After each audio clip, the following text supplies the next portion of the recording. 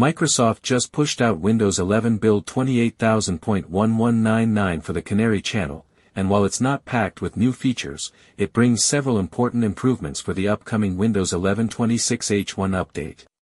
In this video, I'll break down what's new, what it means for you, and why this update is different from any previous Windows 11 release. Windows 11 build 28000.1199 has just landed for Canary Insiders. This build isn't about adding flashy features. Microsoft says it contains a small set of general improvements and fixes to improve the overall experience for devices currently testing 26H1. Now, here's what's interesting. Windows 11 26H1 is the first H1 release in four years.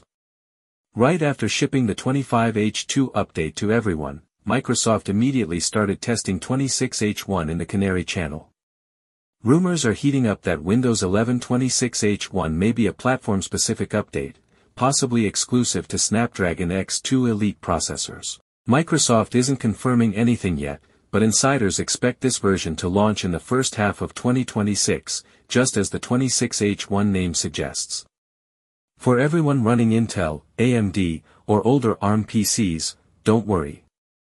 Your next big update arrives in late 2026, known as Windows 11 26H2.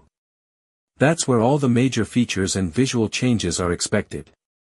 At the moment, Microsoft is offering a single unified build for the dev and beta channels. But that won't last long. The dev channel will soon move to higher numbered, less stable builds. And here's something you should know, right now, there's a rare opportunity to downgrade from dev to beta without wiping your system. Once the dev channel jumps ahead in build numbers, that option disappears, and you'll have to reinstall Windows from scratch to switch back. So that's everything new in Windows 11 build 28000.1199 and what it means for the upcoming 26H1 release. If you want more quick breakdowns on Windows updates, fixes, and performance tips, make sure to like the video, drop your thoughts in the comments, and subscribe for more tech content.